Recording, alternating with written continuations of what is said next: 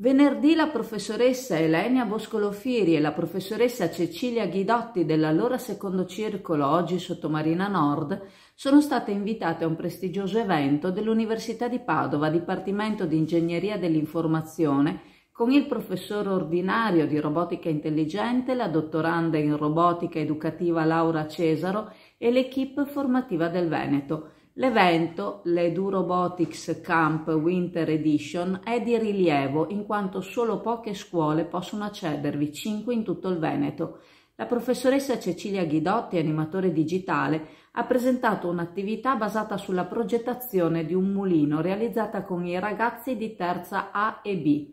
Quest'anno il viaggio scolastico avrà come meta la Francia, si è pensato quindi di collegare lo studio della lingua alle bellezze francesi partendo dal famoso mulino Foraquier. L'attività presentata collega a tutto tondo tecnologia, matematica, scienze e fisica e ingegneria. Si tratta quindi di una vera e propria attività trasversale STEM.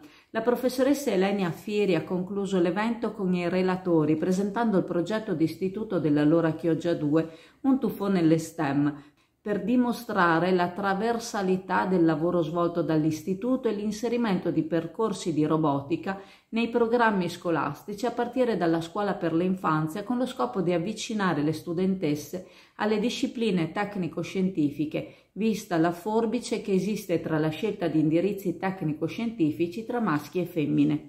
Elenia Fieri riconosce che tutto ciò non sarebbe possibile se la professoressa Ghidotti non facesse formazione e opera di coinvolgimento nei confronti degli altri docenti dell'istituto, che accolgono con piacere i nuovi stimoli. Per tali attività l'Istituto Sottomarina Nord ha ricevuto una menzione speciale. Il lavoro che stanno ormai portando avanti da anni ha dato all'Istituto un'occasione speciale che pochi istituti hanno l'opportunità di ottenere.